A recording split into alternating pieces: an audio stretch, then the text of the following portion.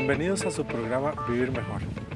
El día de hoy me encuentro desde la Facultad de Medicina y quisiera compartir con ustedes temas importantes en torno a la salud integral. Desde ya agradecemos su sintonía.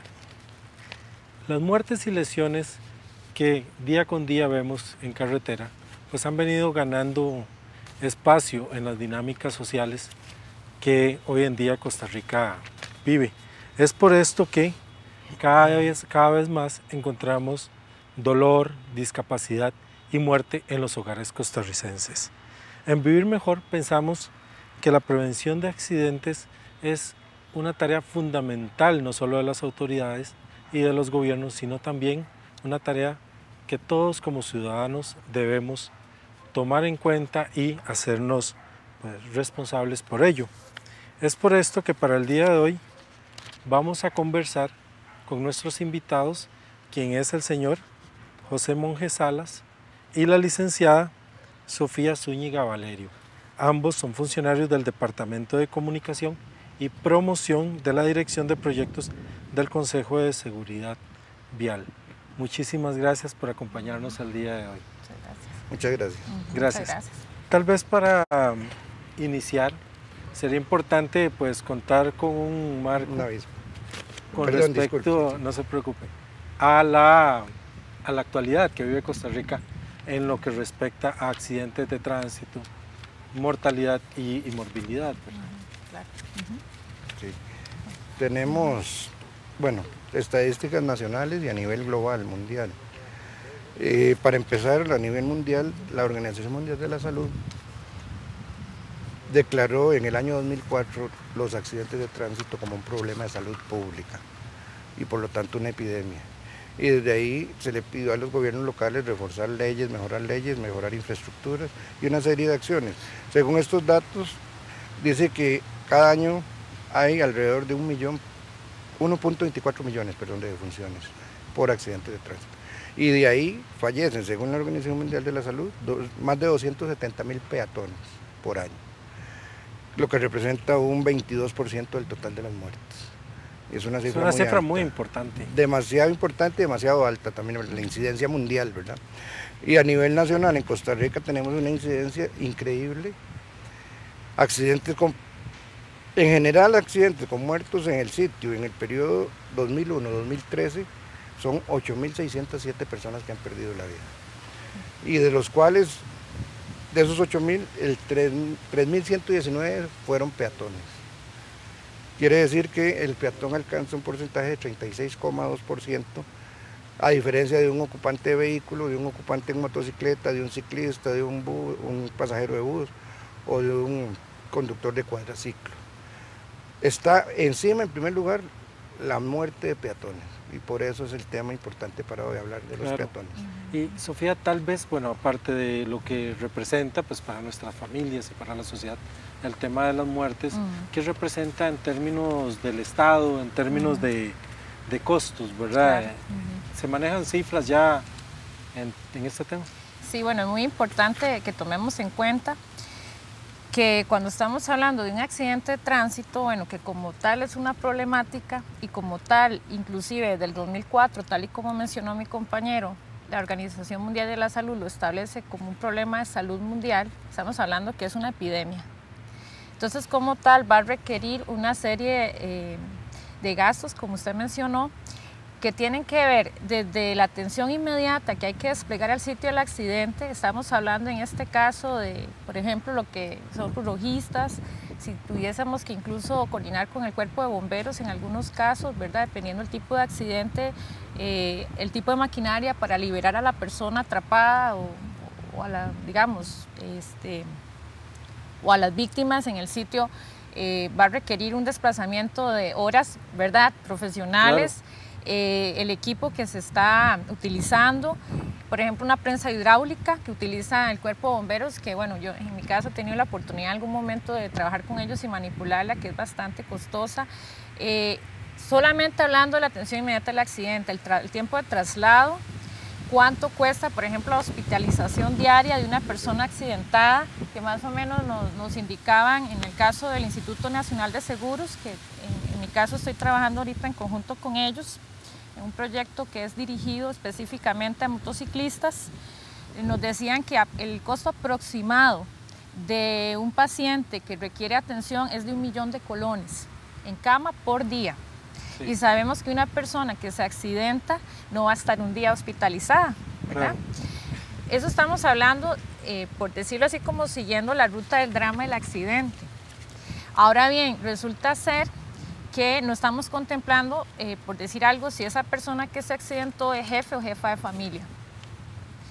Y ya, ya el fenómeno en sí va tomando, ¿verdad? Va tomando Otros actores se van a ir involucrando. Porque resulta ser que ese peatón, esa peatona que se accidentó, eh, pertenece a una familia, pertenece a una comunidad, puede ser que tenga o no tenga pareja, tiene amigos, tiene vecinos, compañeros de trabajo, entonces resulta ser que ya el problema va tomando una dimensión más grande.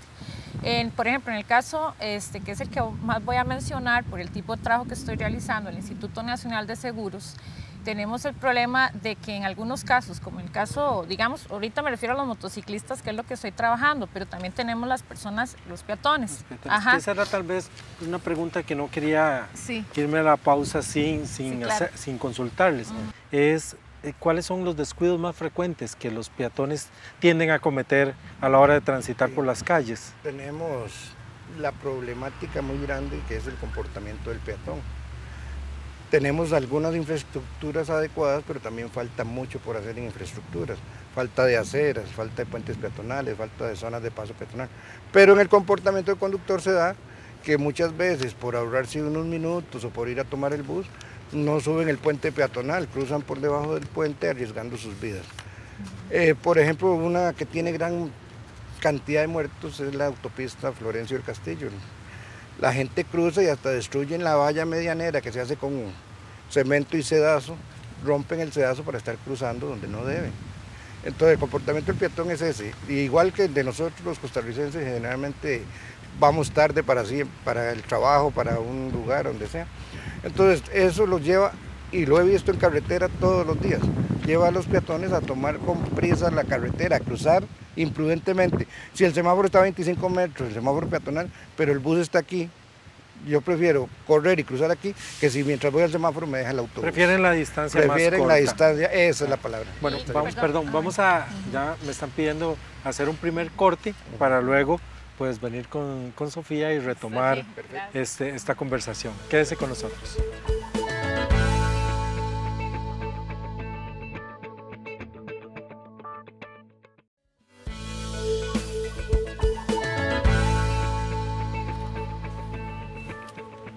Gracias por continuar con su programa Vivir Mejor. El día de hoy seguimos en compañía del señor Juan José Monge y la señora Sofía Zúñiga, ambos del Departamento de Promoción del COSEBI, y estamos hablando acerca de la importancia de la seguridad peatonal.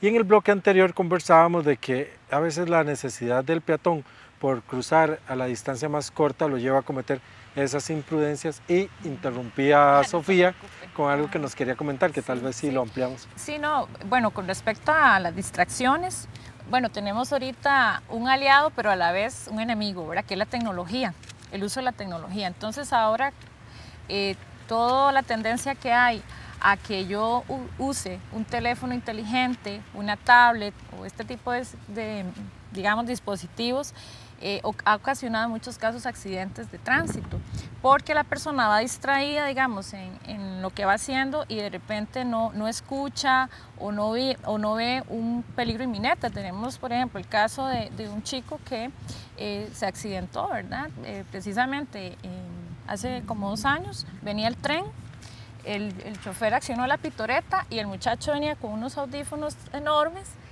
y nunca, lo escuchó. y lamentablemente, bueno, sufrió la amputación de sus piernas. Y volviendo al tema anterior del costo, en muchos casos tenemos que estos pacientes, en algunos casos son atendidos por el INS, pero vence la póliza. Entonces, cuando la póliza vence, que es parte de los costos que conversábamos, se refieren a, la Caja Costarricense del Seguro Social y en algunos casos eh, ya entran en, juego otras instituciones, ¿verdad? Por ejemplo, ya hay que gestionar, te lo digo como trabajadora social, porque he tenido la oportunidad de ver casos de este tipo, ya hay que coordinar con el instituto, digamos, el, el Instituto Mixto de Ayuda Social, con el Consejo Nacional de Rehabilitación y Educación Especial. Eh, tenemos otro, otra distracción que ahora está tan de moda, eh, el correr, ¿verdad? Entonces mucha gente por la fiebre de que vamos a correr, de que quiero hacer ejercicio, quiero tener vida saludable, salen a correr, pero por ejemplo, que ahora lo vamos a hablar más adelante, se les olvida que hay que ir con ropa clara, que hay que tomar en cuenta ciertos factores para eh, eliminar los factores de riesgo. Claro. Y esa precisamente era la, siguiente pregunta que, me surge. Que me surge. Y si es que, bueno, normalmente lo que uno observa o, se cuestiona es si la población en general conoce acerca de lo que son las leyes de tránsito, si existe ya reglamentación en ese aspecto, ¿verdad? Es decir, si si la responsabilidad es solo del conductor o los peatones como tal tenemos responsabilidades que asumir. Sí, en realidad tenemos un lema de la seguridad vial de hace muchos años y se repite constantemente que es la seguridad vial es responsabilidad de todos, tanto peatones como conductores, ciclistas, la responsabilidad de todos. Y como dice Sofía, salen a correr y he visto muchas personas, hombres y mujeres corriendo, pero con audífonos puestos y a veces con ropa oscura, como menciona mi compañera. Y también el comportamiento mal de los peatones de caminar por el lado derecho donde no hay aceras, cuando la recomendación es el lado izquierdo. Y sí, en la ley de tránsito vigente, que está desde el 2012, hay un capítulo especial para los peatones, sobre todas las normas que deben seguir los peatones, y de hecho hay hasta una multa de 22 mil colones al día de hoy para el peatón que respete las zonas de paso peatonal, que no usen el puente, que no caminen por la izquierda. Hay hasta multa. Se han hecho muy pocas, porque en realidad el problema con los peatones es que las multas se vuelven incobrables, aunque suene feo.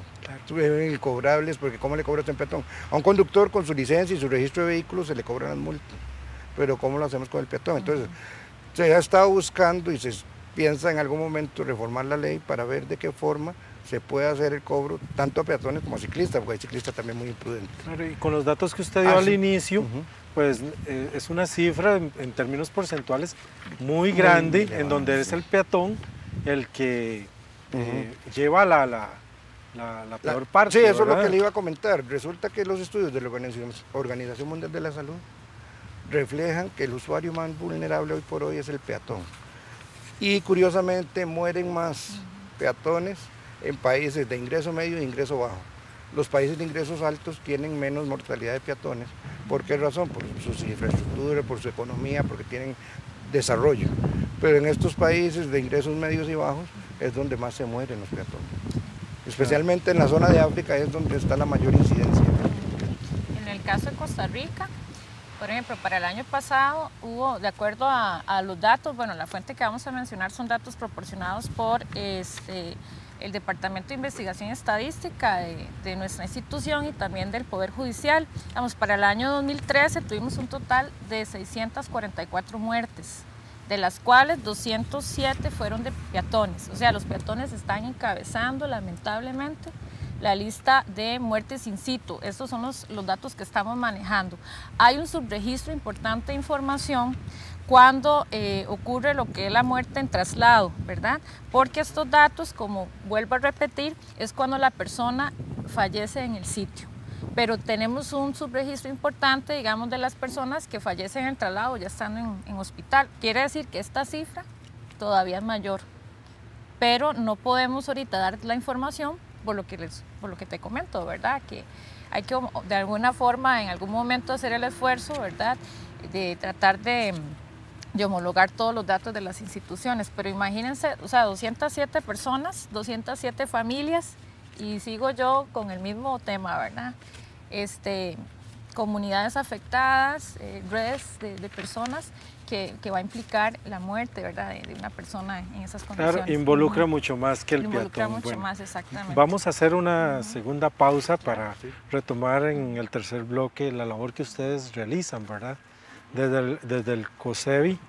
Por favor, quédense con nosotros, ya regresamos y no olviden si tienen alguna pregunta o algún comentario que hacernos, por favor, en nuestro Facebook Vivir Mejor, canal UCR, con toda confianza nos pueden escribir. Ya regresamos. Los peatones también deben seguir las leyes y reglamentos que regulan la seguridad vial. La Ley de Tránsito por Vías Públicas Terrestres y Seguridad Vial de Costa Rica, decretada en el año 2012, dice, entre otras cosas, que los peatones deben comportarse de forma tal que no pongan en riesgo a las demás personas. Algunas obligaciones para los peatones que señala el artículo 120 de esta ley son el tránsito peatonal por vías públicas se hará por fuera de las zonas destinadas al tránsito de vehículos. En las zonas urbanas, transitarán por las aceras y cruzarán las calles en las esquinas, las zonas de paso marcadas o los pasos peatonales a desnivel. Transitarán por el lado izquierdo de las vías públicas según la dirección de su marcha, cuando no existan aceras o espacio disponible. Se prohíbe portar elementos que puedan obstaculizar o afectar el tránsito. La multa por el incumplimiento de lo establecido aparece en el artículo 147 de la misma ley.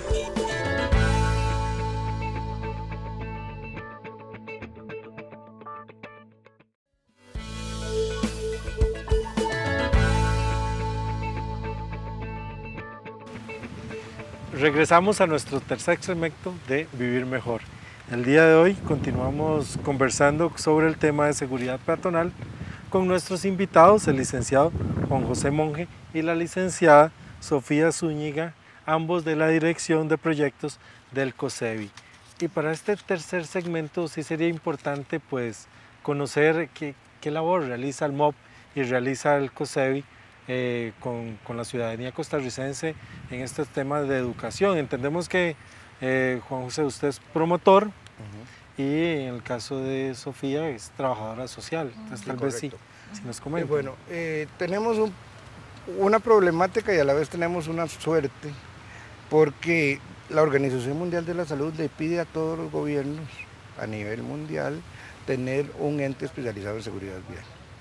Entonces, con la ley 6324 de 24 de mayo del 79 se creó el Consejo de Seguridad Vial. Ya cumplimos 35 años de existir. Y el MOB, por su lado, tiene lo que es la Dirección General de Educación Vial, que se dedica propiamente al otorgamiento de licencias mediante las pruebas teóricas y prácticas. Pero como buenos costarricenses también, que a veces nos da pereza la lectura, una gran mayoría, no tengo un dato específico de número, pero una gran mayoría de personas que van a sacar una licencia de conducir se olvidan del manual del conductor y lo dejan por ahí tirado o se lo regalan a otro amigo que va a hacer la prueba. Y lo he vivido en muchas charlas que hemos dado, porque yo pregunto, por ejemplo, qué es la trilogía vial que está ahí en el manual, en los primeros capítulos, y la gente se olvida de eso. En el caso de las acciones que nosotros hacemos, a diferencia del MOP, porque el MOP es eso, nada más, educación vial es otorgar licencias. Tiene también el Parque Infantil de Seguridad Vial donde llevan chiquitos de escuela. Pero en el caso de nosotros, en la dirección de proyectos, tenemos, y específicamente en nuestro departamento, tres programas importantes. Está el programa Centros Educativos Seguros. Mediante ese programa le hemos llegado a más de 4.000 escuelas con los libros de Brigada Vial. Libros de pintar, libros de actividades y también con sus respectivos lápices y reglas y todo para promover en los niños, para ver si enderezamos la plantita desde abajo. Y les hablamos mucho de la seguridad peatonal. Tenemos zonas de mucho riesgo como la zona de Guapiles, donde el año antepasado se entregaron más de 4.000 ponches verde limón y con cintas retroreflectivas para los niños, porque ahí salen tarde, oscurece temprano y a veces llueve mucho. Y en otras zonas del país de alto riesgo hemos dado esos dispositivos a los niños y les hablamos sobre el tema de la seguridad peatonal más que todo, porque la mayoría de chiquitos los lleva la mamá a pie, otros van en bicicleta, otros en moto, hasta en moto hemos visto chiquitos. Y por las distancias ahí no hay aceras. eso, a eso iba. En zonas rurales no es la infraestructura adecuada, no hay aceras, no hay puentes, no hay pasos peatonales. Entonces, nosotros ese esfuerzo de proteger a los niños lo estamos haciendo, tanto como en la educación, con los dispositivos, porque también les damos unas pulseritas reflectivas para cuando salen a caminar o cuando van para la escuela. Y también le hemos dado otro dispositivo que le llamamos alita, lástima que no traje una. Es una, le llamamos alita porque se dobla acá, es un dispositivo reflectivo que se pega atrás de la tirita del salveque de los niños, para que los vehículos iluminen, ya sea en el día o en la noche, porque refleja con la luz del sol o con la luz de los vehículos. Ese esfuerzo lo hacemos en lo que es centros educativos seguros, trabajar con los niños.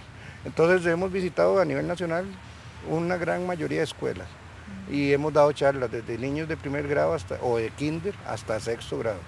Y también en secundaria. Hemos dado en secundaria en instituciones públicas y privadas también.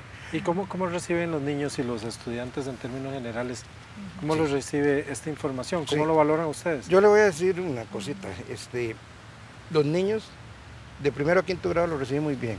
Los de sexto ya empiezan un proceso de madurez, van para la adolescencia, entonces muchas veces son los que más difíciles de tratar. O los muchachos colegiales, todavía primero, segundo año de colegio, son muy manejables. Ya lo que es cuarto, quinto año, ya son como más rebeldes, entonces uno les habla del tema y más de uno como que hace así, no me interesa o no me importa. Y es tan importante como que yo le digo a usted, cuídese por la enfermedad de la gripe H1N1. Igual, es una enfermedad, el, accidente de tránsito es una enfermedad y no hay medicina. ¿Cuál es la medicina? Nosotros mismos, el comportamiento nuestro. Porque estaba leyendo aquí el comportamiento de los conductores, manejar exceso de velocidad, que eso influye también. Y muchas veces, y a los niños les hablamos también, que no tienen la capacidad suficiente para medir distancia y velocidad y cruzan una calle creyendo que les da tiempo. Después los conductores en estado de ebriedad, en forma distraída, ya sea por el celular o por el radio, por cualquier otro. Hemos tenido conductores que hasta leyendo revistas encima del volante o el periódico, y eso es una distracción enorme.